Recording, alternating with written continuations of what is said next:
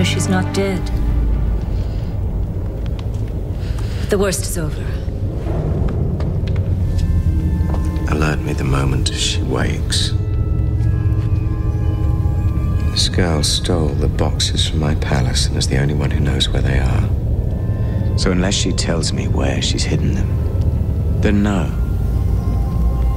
The worst is not yet over. For her. My lord, she's awake. But there's a problem. She doesn't seem to remember anything. How convenient. Oh, My lord, if I may. I believe she's telling the truth. Your men were overzealous with her. They beat her viciously. I've seen people who have suffered blows like this to the head, and often their senses are dulled. It's not surprising she's lost her memories.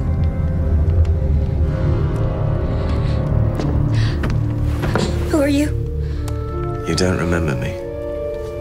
No. I don't even know where I am or how I got here. It's all right. You're safe now. I'm a friend. This is my home. Should I know you? I'm sorry. Please don't apologize. It's not your fault. And I promise I will tell you everything. But perhaps it's a blessing that you don't remember the terrible things your brother did to you. My brother. People call him a seeker. If you had managed to chop my head off, where would you have taken it? There's a D'Haran garrison only a day's journey away. If I confess who's ever in charge of this garrison, we might find out what happened to Jennsen in the boxes. We might even be able to get the cure. What do you mean? If Rahl created this plague, then maybe he has a way to protect his own men from it. I'll stay here and do what I can to help, while you two go to the garrison. How are we going to get close enough to the commander to confess him? They want the Seeker's head? Let's give it to them. Rayana, Rayana. I have the head of the Seeker! I will give it only to the commander! Tell him to bring the cure for the fever to Sorcerer's Bluff alone! And I will exchange the head for the cure!